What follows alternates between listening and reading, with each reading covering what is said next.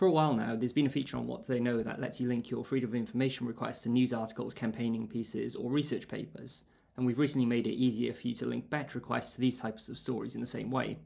To celebrate, we'll be offering free credit for What Do They Know Pro subscribers who add links from the batch requests to the stories or papers that the requests are fed into.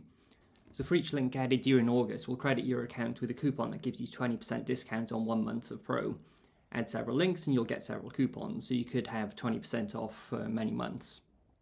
It's easy to add them. Let me show you how. When you go to the batch page, you'll see an in the news section in the sidebar. You can click let us know to add a new link. You can just copy the link from where your article is published, fill in the source URL, and tell us broadly what kind of category it is, and then hit submit. You can add multiple links in the same way.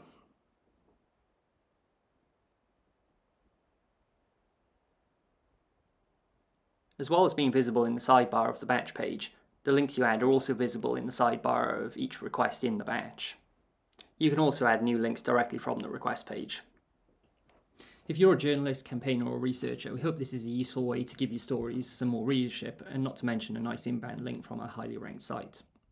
We're always keen to spot stories and research based on FOI requests made on what they know, but articles don't always cite a source or link back to the site, so when you use this feature, you'll be really helping us understand what sort of impact the site is having, which helps us to continue to improve it. Check out the blog post for more details on the promotion. Thanks.